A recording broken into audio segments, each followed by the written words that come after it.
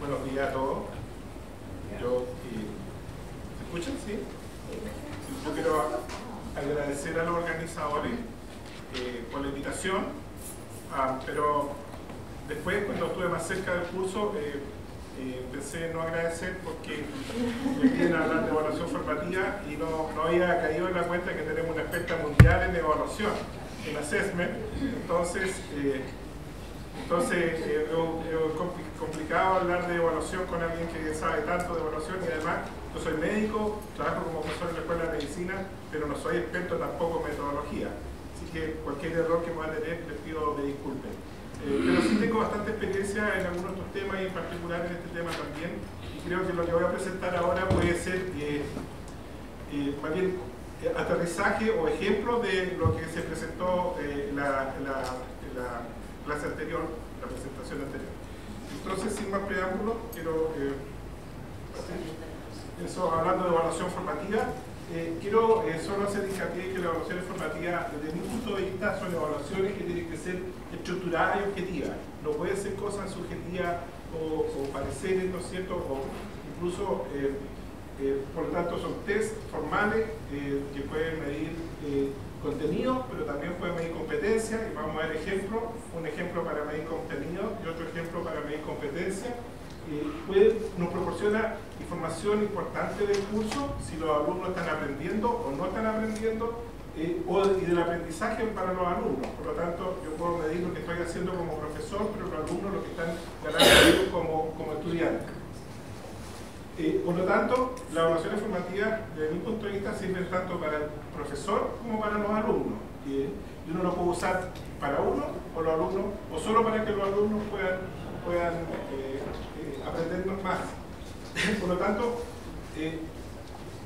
las evaluaciones formativas, desde mi punto de vista, no, son, no es lo mismo que feedback. Requiere, volver al punto anterior, tiene que ser evaluaciones estructuradas y objetivas porque a veces se confunde mucho lo que es evaluación formativa con feedback y yo creo que tiene alguna diferencia. Se pueden aplicar entonces en cualquier parte del curso y el resultado es que eso nos va a ayudar probablemente a que los alumnos aprendan más y finalmente terminen, ¿no es cierto?, la evaluación sumativa con mejores resultados. Eh, les quiero hablar de mi curso, es un curso integrado de clínica médica. Es el cuarto año de medicina ya los y es la entrada de los alumnos a la clínica. Es un curso anual que tiene dos semestres, tiene 40 créditos cada semestre y en total 80 créditos. Es un mega curso, probablemente el curso más grande de toda la universidad. Tiene 13 capítulos teóricos que se hacen en la tarde, que van secuenciales uno tras otro, eh, como muestro ahí en la tarde, teórico, lo que dice teórico, entonces ahí se van pasando las clases y, y eh, tiene 15 capítulos prácticos que se hacen en la mañana en grupos más pequeños los alumnos van rotando de una rotación a otra y en total manejamos 120 alumnos, o sea, estoy a cargo de 120 alumnos durante todo un año. El primer semestre, en la mañana, se hace práctico, ¿no es cierto?, el primer y segundo semestre y en las tardes hacemos los módulos teóricos como les mencioné.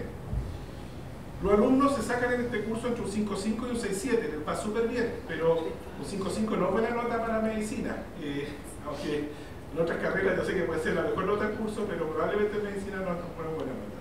La evaluación de la docencia del curso en global es evaluado por los alumnos hacia nosotros como entre un 6.2 y un 6.4, lo cual es súper bueno, y los capítulos teóricos entre un 6, 6.7 y los prácticos entre 6.4 y 7. O sea, todo parece ser perfecto, pero obviamente siempre hay cosas que mejorar, entonces uno está siempre pensando qué hacer. Tenemos que mejorar la adquisición de destrezas clínicas, asegurarnos que los alumnos aprendan lo que tienen que aprender, a examinar bien, a detectar bien los problemas de los pacientes. Razonamiento clínico, en este curso aprenden a hacer diagnósticos, llegan alumnos, terminan doctores. La diferencia está en que aprenden a hacer diagnósticos, lo cual no es tan fácil. Eh, tenemos finales muy, exámenes finales muy amplios. Al final del año les preguntamos todo, todo el año, todo lo que deberían haber aprendido en el año, pero de una manera más que general e integradora. Y no los, conocimientos específicos que en cada, cada capítulo. Eh, y para ese examen es que nosotros aplicamos una evaluación formativa. Eh, también queremos detectar alumnos precoces eh, con problemas de manera precoz, también queremos conocer mejor y reflexionar. O sea, estamos preocupados de, otras cosas más allá de lo que es el, conocimiento puro de, de los alumnos. En relación a la evaluación formativa, nosotros es una práctica muy poco utilizada en la escuela. hasta, hasta, durante, hasta el la primera parte del año 2000, del 2000 al 2005. De hecho, tuvimos dos evaluaciones en la Escuela de Medicina, una internacional americana y una nacional, y las dos dice que la evaluación formativa es una herramienta muy poco utilizada y debe ser usada de forma más sistemática, como recomendación a nuestra escuela.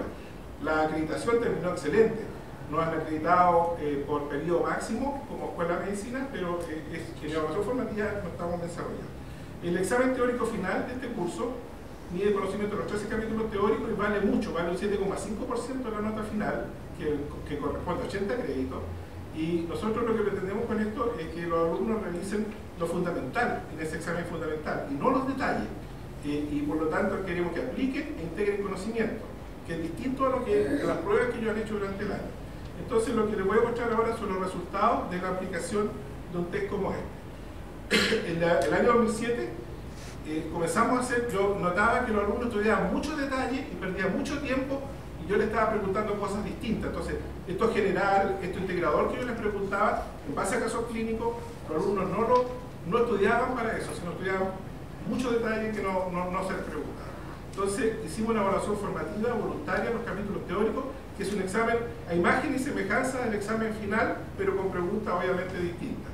La prueba es de múltiple elección, con preguntas por capítulo y temas específicos que yo se los señalo, y posteriormente reviso con ellos las preguntas, hacemos revisión de la prueba, se informa individualmente el rendimiento total, después le entregamos un informe de cómo le fue por cada capítulo, cómo le fue en cardiología, cómo le fue en respiratorio, y también cómo le fue en general en la prueba, eso se le entrega por escrito, un informe, y luego a final de año, ya después de que tuvieron el examen final y todo, eh, se, eh, le preguntamos, hicimos una encuesta de qué les pareció la experiencia, etcétera, que les voy a mostrar ahora. Eh, y se evaluaron los rendimientos y la utilidad. Aquí hay una foto que le tomé con permiso de ellos durante el ejercicio, entonces no es una prueba sumativa, es el mismo ejercicio, y como ven, nos citamos, una, un, damos al mismo tiempo, nos ponemos filas separadas, entregamos dos formas de prueba, o sea, es exactamente igual como se hace, ¿no es cierto?, el examen final y la calidad y profundidad de las preguntas y el tipo de preguntas es muy parecido al examen final. las cortes son muy parecidas, esos son los resultados de la evaluación formativa cada año. Eh, en el gráfico de allá se ve cómo los alumnos en general todos mejoran en el examen final, pero eso no es lo importante porque igual entre el examen formativo el examen final hay un mes de diferencia y los alumnos han aprendido, han estudiado mucho para tener mejores notas, por lo tanto no es, no, no es porque hicieron un examen formativo necesariamente. Pero lo más importante que los alumnos cuando les preguntan qué les pareció el examen formativo, la evaluación formativa, ellos dicen eh, en un 65% eh, que fue muy útil, un 27% dice que fue útil en morado, y que fue útil o parcialmente útil un 8%, de manera que la gran mayoría encuentra que fue de utilidad para ellos. ¿Y es que fue utilidad? En morado eh, está ahí el, o el azulino más bien, eh, que se calmaron, les sirvió para calmarse, reducir la ansiedad, en morado, que les permitió focalizar el estudio, en amarillo, reconocieron sus debilidades en el examen y en verde, importantemente, eh, identificaron el grado de dificultad del examen final, o sea, les sirvió para darse cuenta cómo viene la mano, qué les va a pasar en el examen final y finalmente eh, un grupo dice que les sirvió para motivación. De tal manera que ha sido una experiencia súper buena, nosotros la, hemos llevado, los alumnos la valoraron muchísimo como una preocupación nuestra para que ellos pudieran aprender más. Lo hemos presentado en Congreso Europeo de Educación Médica, EMI, y, eh, y, ahí estoy yo, que sirvió para ir a España. Siempre hay que sacar provecho de, todas las cosas que hacen. Quiero llevarlo a... Eso es para evaluar conocimiento esencialmente, pero ¿cómo evaluamos las competencias? Eh, y eso lo hacemos con el ECOE o OSCI. OSCI. Eh, el OSCI entonces es un examen práctico, estructurado, para evaluar las competencias. Y usamos pacientes simulados o pacientes reales. En general usamos muchos actores, que son pacientes simulados, ¿no es cierto?, que se saben el guion de la enfermedad del paciente. Eh, ese es lo que hacemos también como un examen a final de año también la Sekunoski, eh, tiene múltiples estaciones, siete estaciones de distintas especialidades, respiratorio, cardiología, etc. Y hay una pauta que se aplica por el evaluador y eventualmente el paciente también evalúa al alumno que está haciendo de doctor en ese momento. ¿Se entiende? Eh, Después tenemos que evaluar cuántos logros, de 20 preguntas que tenía que hacer, cuántas fue, y cuántas realmente hizo el, alumno, ¿no es cierto?, de las preguntas, y ahí después sacamos un, ranking. Siempre hemos ido cambiando un poco la, pauta de evaluación eh, porque nos ofrece algunas dificultades. Sin embargo, los alumnos desde tercer año hasta que se reciben van a estos exámenes OSCE con pacientes, pero nunca tienen un examen previo, formativo, que les diga qué están haciendo bien o qué están haciendo mal. Ojo, y es un examen absolutamente artificial y estructurado. y nunca tienen un feedback de, su, su, examen tampoco.